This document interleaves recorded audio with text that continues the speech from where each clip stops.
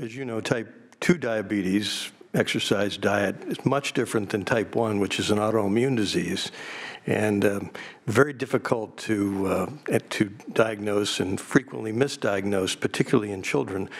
And so I would ask you to take a look at, uh, at the opportunities that you have in your department to perhaps um, embark on a public education campaign, whether it's the public generally or the healthcare practitioners, uh, to make sure that we don't have uh, some of the misdiagnoses that we have experienced in the past. And we did get 2.5 million for a diabetes awareness campaign, which will be um, coming up shortly. And so we'll, I'll take that back and make sure that we're thinking about that as well. Perfect. Congratulations again, ma'am. Thank you, Madam Pro Tem.